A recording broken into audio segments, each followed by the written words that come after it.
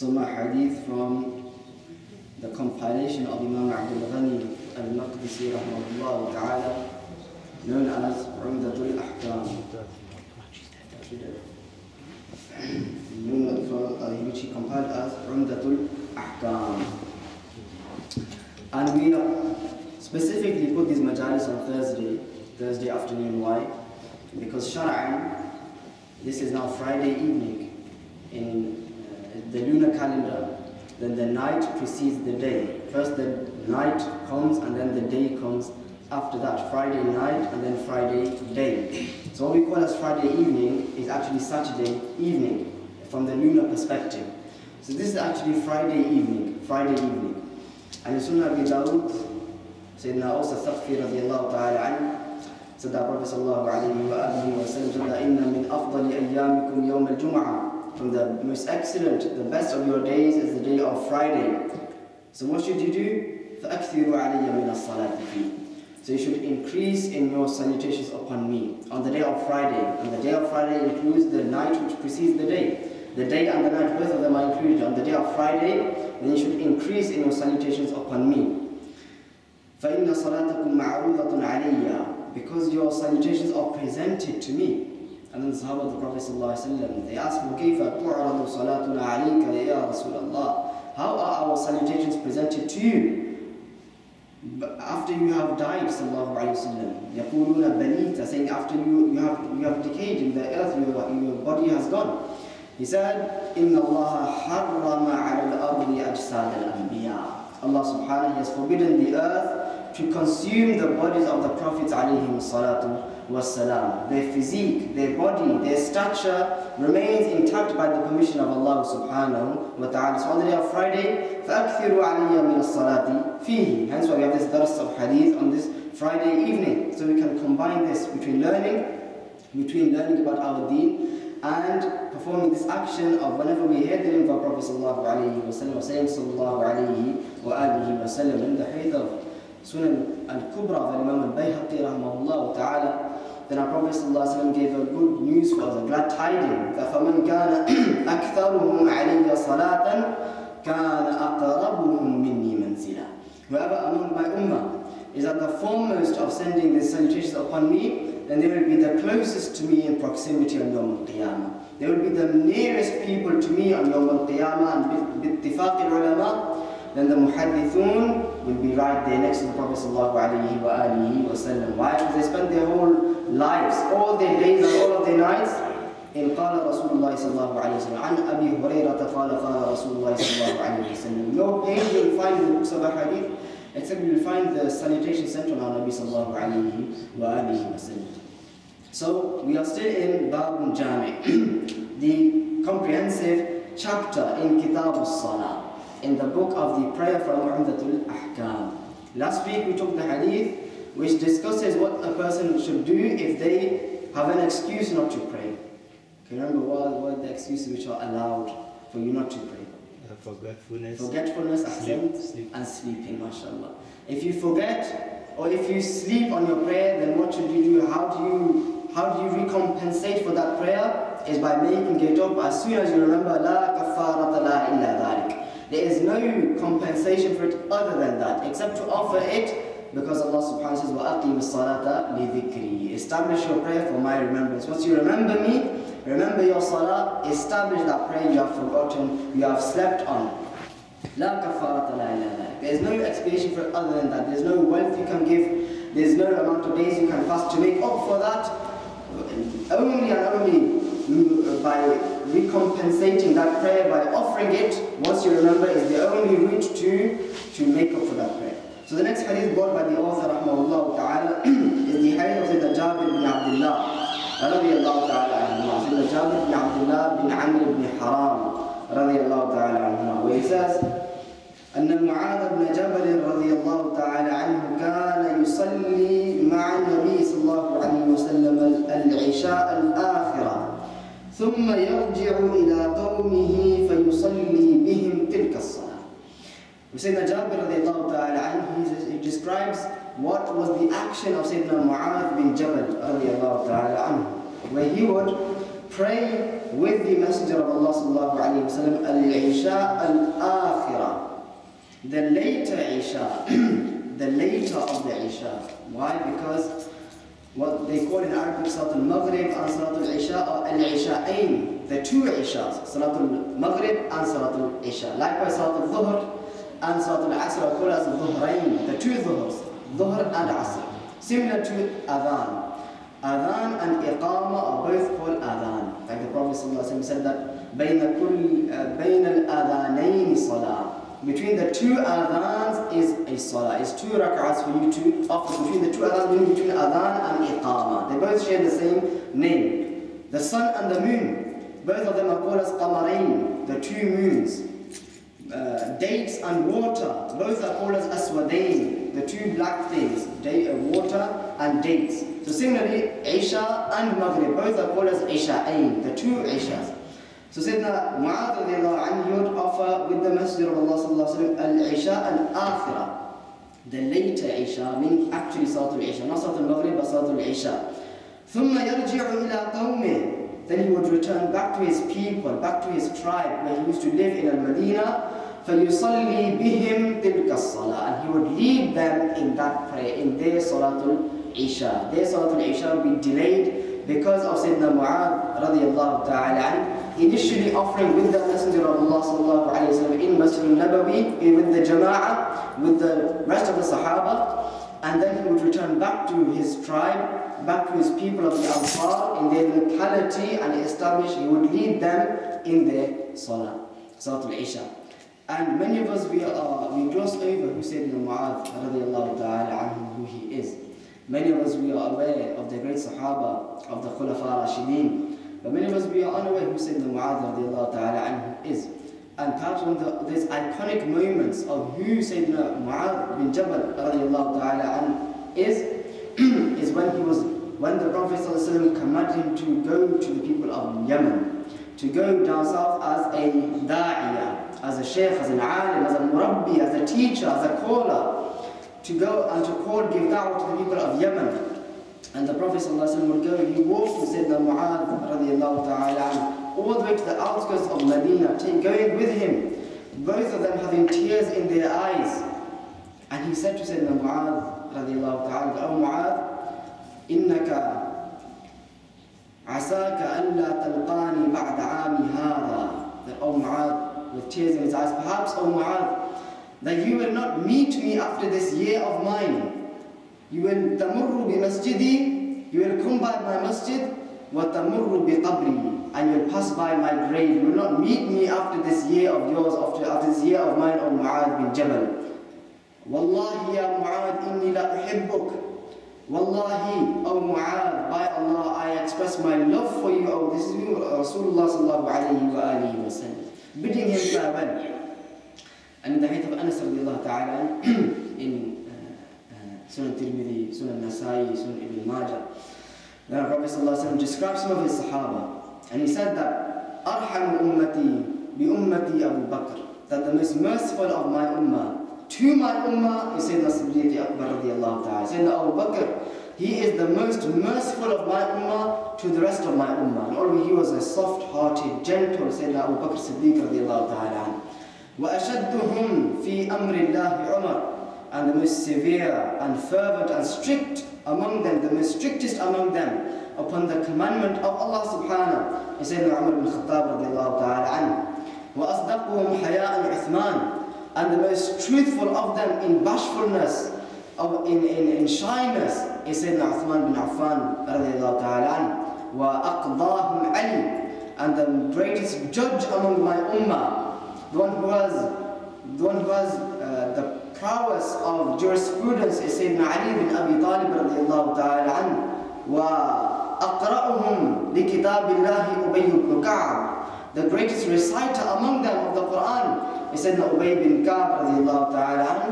وأعلمهم بالحلال والحرام معاذ بن جبل and the most knowledgeable among my ummah of halal and haram, of ahkam, of fiqh, is Sayyidina Mu'adh bin Jabal radiallahu ta'ala. So Sayyidina Mu'adh bin Jabal radiallahu ta'ala anhu, being attested to by the Prophet ﷺ as being أعلم بالحلال والحرام أفقه هذه الأمة the greatest faqih Sayyidina Mu'adh bin Jabal he would do this practice and this is what we call as hadith taqriri hadith a, a, a, hadith where the Prophet has not spoken any words has not performed any actions but rather he has approved the action of Sayyidina Mu'adh bin Jabal radiallahu ta'ala and we'll come to some of the uh, uh, some of the objections of the Ahnaf and how the Prophet ﷺ, his own fi'l, his own action approves the action of Sayyidina Mu'adh bin Jabal radiallahu ta'ala. The Ahnaf, for example, what do they say? They do not take this hadith and act upon it. That if a person, a person who is praying behind somebody, then they are allowed to have a different niyyah. They do not allow a uh, muftarid to pray behind a mutanaffil. Somebody who's praying their fard prayer to pray behind somebody who's offering a nafil prayer, like we have here. We said that Mu'adh ta'ala would offer his fard with the Prophet sallallahu And then he would go back to his hayy, back to his locality, back, back, back to his people. And then he would offer them a salah which was nafil for him, which was voluntary for him, and for them it would be their fard prayer, for them it would be their obligatory prayer, it would be their salatul isha of four rak'at, wajib upon them, and for him, Sayyidina Mu'adh he would be offering a nafil prayer, he would be offering a voluntary, a supererogatory prayer, a prayer which is not a, or an obligatory one. And they say why? Why do they not accept this? they say because the hadith of the Prophet ﷺ, when he says that فَلْيَأُمَّكُمْ أَقْرَأُكُمْ The one who is the greatest qari, who has the greatest knowledge of Quran, of tajweed, of ahkam, he should lead the people in salah. So from here, they derive that the imam should be in a better position than the ma'mun. The imam should be in a better position than the one who is praying behind him. So based on this principle, they say that it's not befitting for, for example, a blind person to lead somebody who is non-blind in Salah. It is not befitting for a young, a, for a child to lead an elder in Salah. Similarly, it is not befitting, neither is it permissible for somebody who is praying a nafil prayer to lead somebody who is praying a fard prayer. Because the fard is in a greater position than the nafil. Nafil is something, if you, whether you perform it or whether you do not perform it, you incur no punishment from Allah subhanahu wa ta'ala. But if you miss out your fard prayer, then you will incur sin by, from Allah subhanahu wa ta'ala. So they made this qaida, which we see as a tradition from the Ahlul Ra'i, from the people of opinion and Ra'i and Qiyas and analogy, where in the presence of Nas, in the presence of a text from Quran or Hadith, they prefer a principle based on a ra'i, a principle based on qiyas, a principle they have concocted based on analogy, in opposition to a clear, explicit, sarih text from the, and we mentioned the hadith of, hadith of al-Ahkam, where they taken from? Bukhari and Muslim. Bukhari and Muslim. So this hadith is taken from Bukhari and Muslim. That this is what the Sayyidina Mu'adh ta'ala will do, and the Prophet approved his action. But yet, in opposition to, the, opposition to this, they bring this principle, this qaida, that the imam should be in a better position than the ma'mun. The imam should be in a more lofty position than the person who is leading in salah. And this is a qaida which no doubt it is fasida. No doubt it is a, a false principle to have. Why? Because there's no qiyas. There's no analogy in the presence of a text. In the presence of Allah said, His Messenger said, then there is no room for any analogies, no room for any rai. Hence why, for example, Imam Ahmad, rahmahullah ta'ala, he has some poetry attributed to him. Either him or his son, Imam Ahmad or Imam Abdullah ibn Imam Ahmad. Where he says that دين النبي محمد أخبار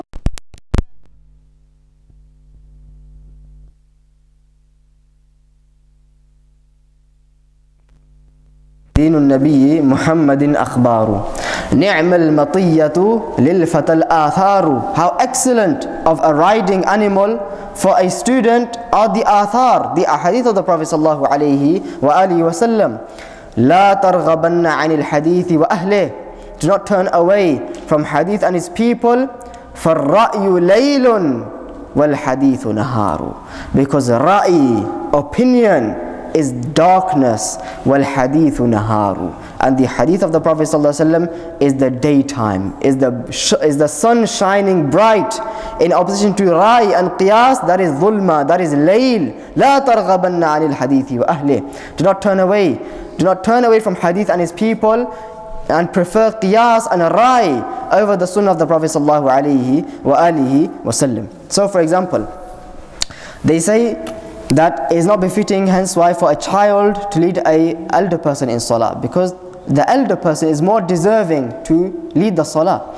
But we find, for example, in Sahih Bukhari, the interesting example of Sayyidina Amr ibn Salama radiallahu ta'ala where he lived far away from the Prophet and when the Prophet began his da'wah, began his call, then Sayyidina Amr bin Salama radiallahu ta'ala they lived close to a, uh, an oasis, close to a place where there was water. So hence why their locality would be a place where travelers and people who pass by they would stop and they would rest. They would allow their animals to drink water their horses their camels to drink water while they are on their journey. And then them themselves would have some rest and they would eat and they would have, have some rest. So they would question the travelers who came to them that what is the news of this man in Mecca, Muhammad Rasulullah sallallahu alaihi wasallam? This was the Facebook and the Snapchat and the Instagram of that day, social media of that time. That what was what was what's the news? What's happening? What's uh, what's been brought to him? And they would tell him, and they would read, so they would memorize Quran, and they are non-Muslims. The tribe of Amr ibn Salama radiallahu anh, they were non-Muslims, and they would be fascinated with the Quran which would be given to the Prophet ﷺ. So with these travelers when they came and they said yeah, yeah he says some Quran has been given to him and they read some Quran Sayyidina Amr bin Salama he would memorize that Quran. And this imagine this kept on going kept on going until Fath Makkah. Until Makkah was conquered by the Prophet in the 8th year of Hijrah from the beginning of the da'wah till the Fath of Makkah, the, people of Amr bin Salama, his tribe, his locality, they are receiving travelers, they are receiving news, and they are receiving Quran which is coming to the Prophet ﷺ. And Sayyidina Amr bin Salama as a non-Muslim, as a young boy, he is memorizing the Quran because he is a sharp, he is a sharp-minded young lad, sharp-minded young boy. He is a non-Muslim and he's, he's learning Quran as it comes to him bit and pieces, in bits and pieces. Until the day of Fath Makkah, and his tribe, they accept Islam and they go to Makkah and they accept Islam with the Prophet ﷺ. And now they have accepted Islam, it is incumbent on them to pray five times a day. And among them, they have to pray in Jama'ah, Fajr, Maghrib and Isha or salawat jahriya, loud audible prayers. So they could find nobody in their locality who has Quran other than Amr ibn Salama radiallahu ta'ala. Who he was a young boy, 7, 8 years old. 7, 8 years old. And he was the one who memorized the most Quran among them after all these years of listening to riders, passers-by, travelers, bringing news of the Prophet ﷺ to them. So the Prophet made him an imam for his people. A young boy, seven, six, seven, eight years old boy, and the Prophet made him as an imam for his people. So how can we take this qaida which the Ahnaf have devised in opposition to this very clear hadith of the Prophet ﷺ. Likewise, the example I gave of the one who is blind and one who is not blind. That when the Prophet ﷺ would leave Medina to go for his ghazawat, go for his expeditions, then most of the time he would leave behind the, uh, uh, the cousin of Sayyidah Khadija radiallahu ta'ala anha, who is Sayyidina Abdullah ibn Ummi Maktoum radiallahu ta'ala anha. Sayyidina Abdullah ibn Umm Maktoum radiallahu ta'ala, he would leave him behind as an imam for the people who could not attend that ghazwa, who could not attend that battle as an imam for them. And how did Allah describe him? عبس وتولى أن جاءه البصير. Huh? when the one who was who had who had sight came to him and ja'ahu al-a'ma the one who was blind came to him he was a blind person. And the prophet left him as an imam for the people left behind in the people of al-madina so this qaida that the imam has to be in a more virtuous position than the one who is leading in is a qaida which is batila, which is fasida, which is false and which is corrupted. Also they use the hadith of the Prophet sallallahu alaihi wasallam, which we took previously of Sayyidina Abu Hurairah radiallahu ta'ala that إنما جعل إنما جعل الإمام ليؤتم به فإذا كبر فكبروا وإذا ركع فاركعوا وإذا وإذا سجد فاسجدوا that the Imam has been made to be followed the Imam has been placed in order that he be followed so when he says Allahu Akbar then you follow him and you say Allahu Akbar.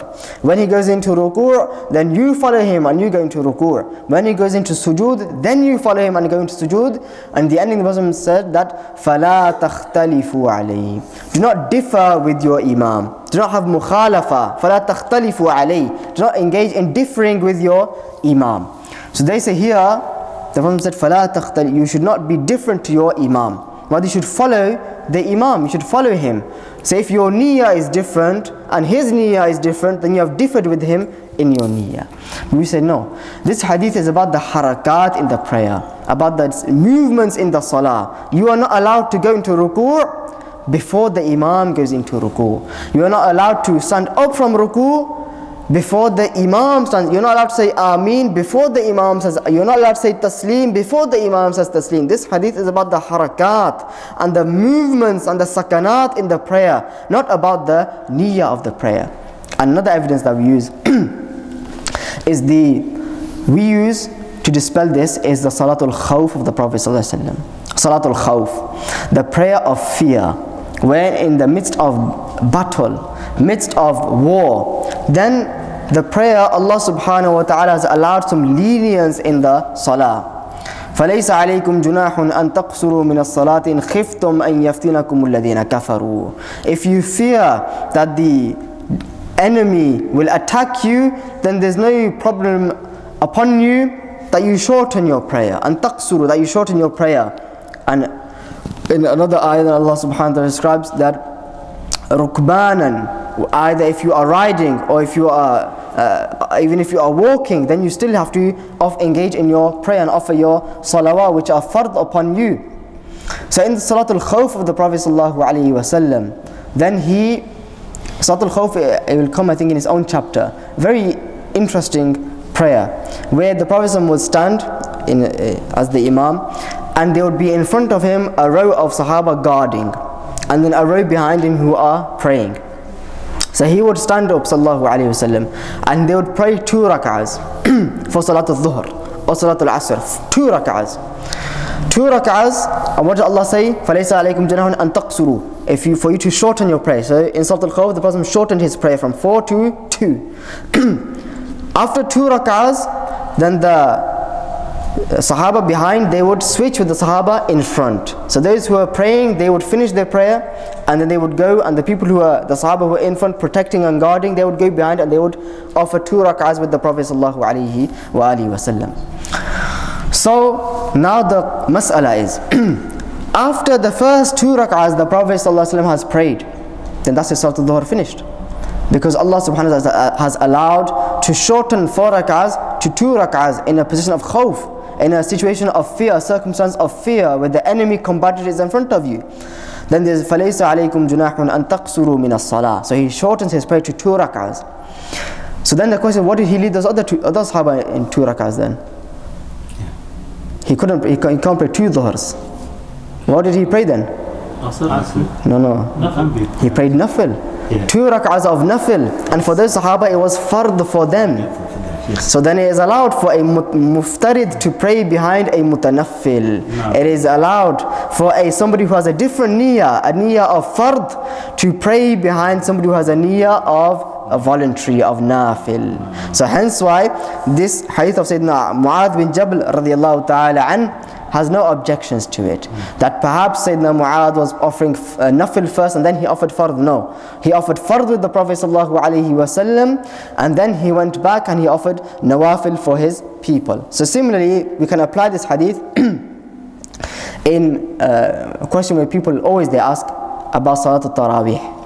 Where they come late for Salat al-Taraweeh and they have not prayed Isha yet. So they say, am I allowed to join the Imam in Salatul, Salatul Taraweeh while I am praying Salatul Isha? And the answer is yes. You can pray behind the Imam who's offering Salatul Taraweeh two rak'ahs and when he concludes his prayer, then you must stand up and offer two more rak'at to complete your Salatul Isha.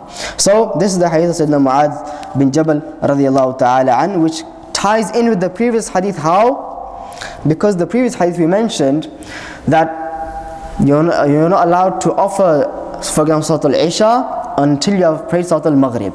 So if you join, if you come to the masjid and you, uh, you have not prayed Salatul Maghrib and the Imam is praying Salatul Maghrib, the Jama'ah is praying Salatul Maghrib and you have not, uh, uh, sorry, the Jama'ah praying Salatul Isha and you have not offered Salatul Maghrib, then you pray Salatul Maghrib with them.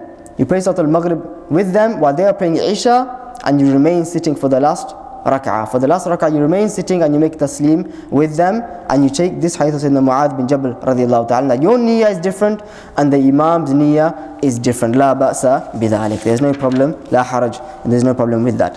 Next hadith of Sayyidina Anas bin Malik radiallahu ta'ala which we took previously but we'll just pass by quickly where he says that كنا نصلي مع رسول الله صلى الله عليه وسلم في شدة الحر We would offer with the Prophet صلى الله عليه وسلم prayer in the extreme heat فإذا لم يستطع أحدنا أن يمكن وجهه من الأرض and if one of us was unable to place his forehead upon the earth because of the extreme heat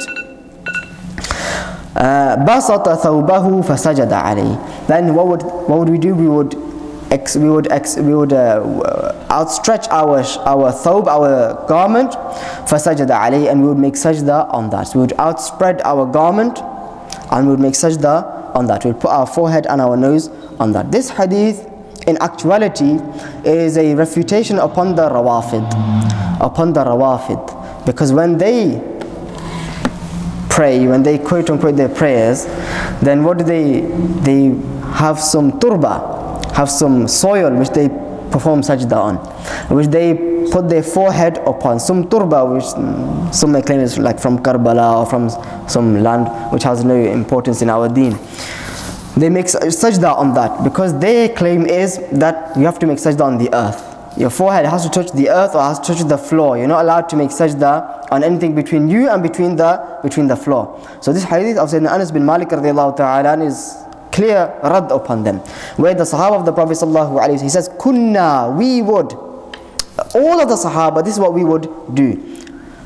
ومن يشاقق الرسول من بعد ما تبين له الهدى ويتبع غير سبيل المؤمنين سبيل كنا سبيل المؤمنين نولي ما تولى ونصلي جهنم وساءت مصيرا That's the path of the Sahaba of the Prophet sallallahu alaihi wasallam. Whoever turns away from that, the path of the Sahaba of the Prophet sallallahu alaihi wasallam, then we will turn him to wherever he has gone, and his abode will be the fire of Jahannam. Na'udhu billahi min dhalik. Kunna, we would all of us, the Jama'ah of the Sahaba of the Prophet sallallahu alaihi wasallam we would do this practice where if it was extremely hot on the floor because of the intense heat of the sun, we were unable to place our foreheads upon the earth, soil, upon the ground because of the intense heat, then we would lay out our garment, our thobe, our, uh, our rida, our upper garment, and would make sajda upon that. So what I mentioned last time was, this is something which is a raqiq, something which is light, something which is thin. They would place our uh, our thobe on the floor. Whereas if it is something, something which is, which something which is very uh, intense, something which is very heavy, very thick, then no, your forehead has to touch, the, like for example, um, a very thick turban which a person they tie, and it comes from their forehead up to out here, yeah. Then you cannot be such down that your forehead will not touch the touch the floor. That, that massive turban will come in between you and between the between the ground. No. Umirtu an asjuda ala sab'ati a'zam. I've been commanded to prostrate upon seven bones. Among them, al-jabha wa ashara ila anfi. The forehead and he pointed to his nose. This area has to touch the ground, has to touch the floor. If there's something light in between you and between the floor, la bas, then there is no problem. If something thick between you and between the floor, then you have to remove that before you make uh, sajda. So we'll uh, conclude with this uh, and we'll continue. Next week I will not be here. I will not be able to make our lesson next week. So in a fortnight, inshallah tabaraka wa ta'ala. Our next lesson will be on Monday, inshallah tabaraka wa ta'ala, with our uh, Raziyain classes, inshallah. So we'll conclude with this for today. هذا ما عندي وصلى الله تعالى على خير خلقه محمد وآله وصحبه أجمعين السلام عليكم ورحمة الله وبركاته